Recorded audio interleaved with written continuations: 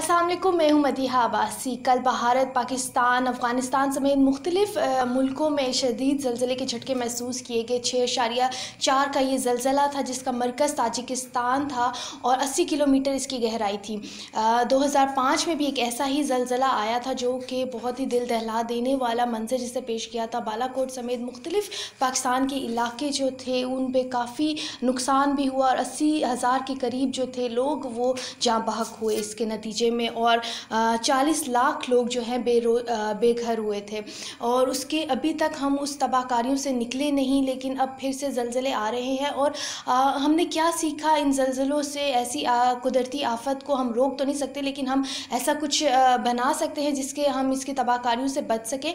लेकिन पाकिस्तान ने लगता यूँ है कि इन तबाहकारियों से कुछ नहीं सीखा और इनका कोई पुरसान हाल नहीं है। ऐसे हम लोग इमदाद तो ले लेते हैं, लेकिन वो इमदाद कहाँ सर्फ होती है और किन लोगों को उसका फ़ायदा होता है ये कुछ ऐसे सवाल हैं जिनका हम जानेंगे। मीर वाइस खिलजी हमारे साथ मौजूद हैं उनसे। असल सर। सर कल जो जल्जला आया है उस हाँ वो कल तो हम बैठे हुए थे ऑफ़िस में काफ़ी। फ़र्स्ट एक वाइब्रेशन हुई उसके बाद तो एक तो अगर हम इसको नाजरीन को बताते चलें कि ताजिकिस्तान से बेसिकली ये जो मेन मरकज़। है वो ताजिकिस्तान है। और अभी हम मैं थोड़ा बहुत स्टडी कर रहा था तो एक गेट टू नो कि वहाँ थोड़ी बहुत तबाही भी की है। हम्म। बहुत से इमारतें वगैरह करेंगे कुछ चलाते भी हुई हैं। और बट ये है कि शुक्र अलहमदिल्ला उस तरह से नहीं की जो 2005 में जिस तरह से पाकिस्तान में और बाकी जगहों में की है। मगर ये लेंथ इसकी बहुत ज़्यादा है क्योंकि वहाँ से लेकर अफ़गानिस्तान पाकिस्तान इंडिया, इंडिया में। हम्म। ठीक है वहाँ तक ये इसके वो, जो आफ्टर फैक्ट्स हैं वो उधर तक गए और वहाँ पे भी डिफरेंट था क्योंकि पाकिस्तान में सिक्स पॉइंट फोर है दिल्ली तक it move to below five चले गया था। बट ये है कि वहाँ तक फील किया गया था। मगर डेप्थ ज़्यादा होने की वजह से नुकसान नहीं हुए हम्म। शुक्र अगर डेप्थ ना होती ज़रा ऊपर फ्लो पे होता तो चाहे नुकसान तो खुशकिस्मती से उस तरह से तबाह नहीं हुआ या फिर जलजले की वो शिद्दत उस तरह से नहीं थी लेकिन हम कितने प्रिपेयर्ड हैं ऐसी कोई कुदरती आफत नहीं हम हम कभी प्रिपेयर्ड नहीं रहते हैं हम ये इस तरह बताऊँ कि कैसे घर जो कभी भी किसी भी चीज़ के लिए तैयार नहीं रहते हैं हम्म। जब कोई चीज़ आ जाती है तो फिर वहाँ उस टाइम भागते हैं दौड़ते हैं फिर हेल्प मांगते हैं। देखिए हमारी डिज़ास्टर मैनेजमेंट डिपार्टमेंट है मगर क्या डिज़ास्टर मैनेजमेंट जो है वो वो सिर्फ़ लोगों को आगाह करता है उसने कोई अमलन तौर पे वो क्या कर रहा है? नहीं बेसिकली वो बनाया गया इसीलिए था कि वो पूरी तरह से प्रिपेयर ले अगर अचानक कुछ होता है। नहीं थोड़ा बहुत इम्प्रूवमेंट हुई है पहले से मगर जिस तरह से होना चाहिए उस तरह है नहीं। देखने में तो यही आता है कि वो सिर्फ़ इमदाद लेते हैं और इमदाद कहाँ खर्च हुई है किस तरह से खर्च हुई है वही वही फिर वही बात आती नहीं हमारी करप्शन जो हर एक चीज़ बुनियादी जड़ जो है जिस खराबी की जड़ है वो करप्शन है। करप्शन की मद्दनज़र हो जाती है, लेकिन दाम अच्छा है, उनकी पॉलिसी अच्छी है, उनकी जो स्ट्रक्चर बनाया गया स्ट्रक्चर बड़ा अच्छा है, जो उनकी वे ऑफ़ एक्शन जो डिफाइन है, वो बड़े अच्छे हैं। मगर मगर होता कभी नहीं है, मगर क्योंकि हमारे अंदर करप्शन इतनी ज़्यादा है कि हम इस तरह की चीज़, जो कि इस तरह मुसीबत ज़्यादा टाइम के लिए बनाएगी वो भी करप्शन की नज़र हो हम्म। जाती है। और वही कुछ यहाँ पे हो रहा है। अल्लाह ना करे अगर ये फिर कोई तबाही मचा देता है या कोई नुकसान हो जाते हैं हमारे लोग फिर वही होते हैं। फिर चंदा मांगते हैं फिर आम हम्म। आवाम उठती हैं। हुकूमत का किरदार जो है ना वो ज़ीरो बन जाता है और उसकी जो अमलन एक रोल है वो ज़ीरो बन जाता है। लोग ही होते हैं जो सारे बेनिफिट करते हैं। हुकूमत के साथ क्या होता है कि उस दौरान भी हम्म। वो अपनी करप्शन बढ़ा देते हैं। तो अब ये बात सच है मगर कहते हैं ना बात तो सच, सच है मगर बात है रसवाई की। 2005 में जो जलजला आया था बालाकोट का शहर बुरी तरह मुतासर हुआ था। वो अब भी उसी तरह मंजर पेश कर रहा है। वो लोग उस तरह से रिहेबिलिटेट नहीं कर पाई हमारे जो इदारे हैं।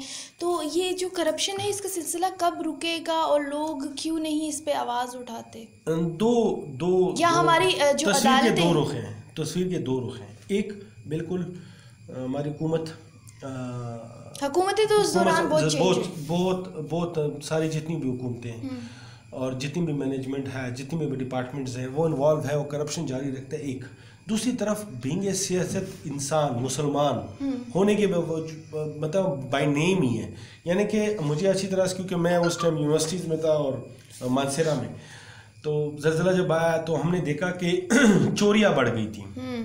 बच्चों के अगवा या उनको लेके जाना वो वो वाला ग्रोह इन हो गया था। मगर खुदा कितनी बड़ी आफत में इस तरह सर के वाक़ात होते हैं कि किसी ने हाथ काटे हुए थे ताकि कंगन में उसके हाथ में थे।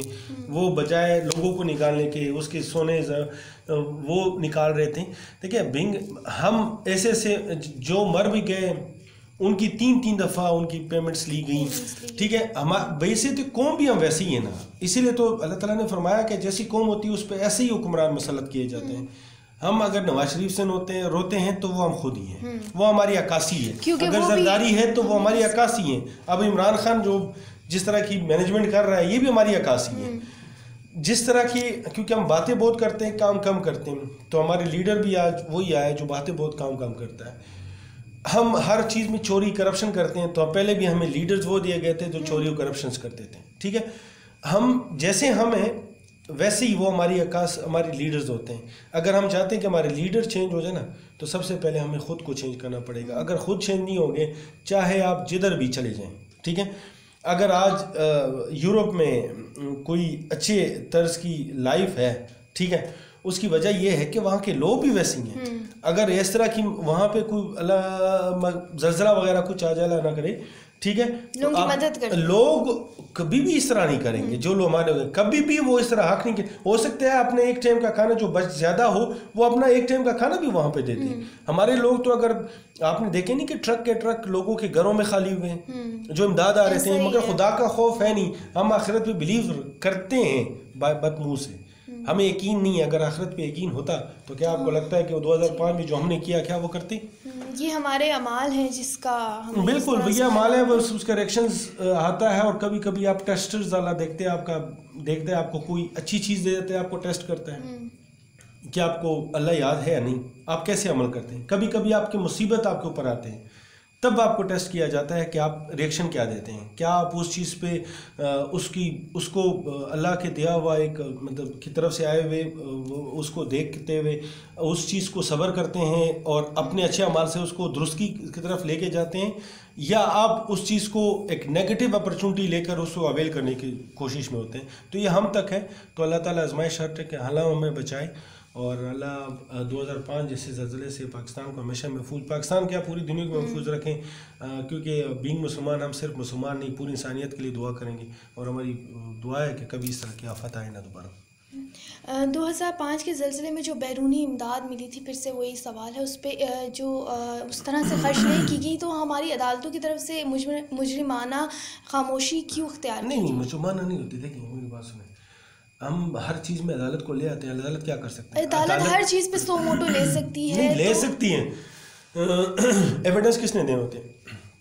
मुख्तलिफ़ डिपार्टमेंट्स वो खुद से तो कुछ नहीं कर सकते। हम्म। उन्होंने डिपार्टमेंट से करना है ठीक है? तो जब आपके पास एविडेंस ज़ीरो होगा अदालतें क्या कर सकती हैं? आपके मतलब आपने याद है कि शहद की बोतल बड़ी मशहूर हुई थी हम्म। कि कराची में खुद चीफ जस्टिस ने जो चीज़ पकड़ी वो लेबॉर्ट्री में साबित हुई कि शहद है। ठीक है तो फिर जब ये शहद साबित हो जाए तो फिर आप अच्छा जब शहद लेबॉर्ट्री साबित होगी हम्म। किस कानून के तहत जज उनको सजा दे सक नहीं दे सकता? तो हमारा जो मैनेजमेंट या जो हमारा डिपार्टमेंट स्ट्रक्चर है ना हम्म। वो गंदा है। अगर वो ठीक हो जाए तो बाकी चीज़ें भी ठीक होगी। अदरवाइज़ कोई भी कुछ नहीं कर सकता। ठीक है। लेकिन जो सी डी ए है वो बिल्डिंग्स की अप्रूवल के लिए ऐसा कोई बाय लॉ तो ये चीज़ें मौजूद हैं कि आपका एमरजेंसी एग्ज़िट होना चाहिए तो उस तरह से फॉलो क्यों नहीं हो रहा? अगेन वही देखिए नवाज़ शरीफ की हुकूमत आती है उनकी पार्टी का सी डी ए चेयरमैन बना जाता है पीपल्स पार्टी आती है तो उनका अब पी टी आई है तो उनका। अब जो अपने डिपार्टमेंट के लोग इन्वॉल्व कौन है यही है मैंने पी ए सेनेटर और जब तक लोग नहीं मरते तो तब तक कोई इदारा हरकत में नहीं आता। लोगों को मर के ये नहीं देखिए हमारी वही कह रहा हूँ ना कि हम जब तक इदारों को अपनी सियासत से दूर नहीं कर सकते ना हम्म। अब सी डी ए के अंदर आ, क्या ज़रूरत है किसी भी पॉलिटिकल मुदाखलत होने की वजह चेयरमैन कौन बनता है, जिसकी पार्टी रूलिंग पार्टी होती है। अब वो करेगा तो नवाजेगा तो अपने बंदों को, और वही होता रहा है और आगे भी होता रहेगा, जब तक कि मुदाखलत बंद नहीं होती। हाँ जब तक पॉलिटिकल जो मुदाखलत है अहदों पर, वो उसी तरह रहेगी तो कभी भी मुल्क में इंसाफ नहीं हो सकता, और कोई भी कानून कानून तो है, लेकिन उस पर अमल दरामद उस तरह से नहीं होता, क्योंकि हर पार्टी के अपने मुफादात होते हैं। इसी के साथ हमें दीजिए इजाज़त, अल्लाह हाफिज़।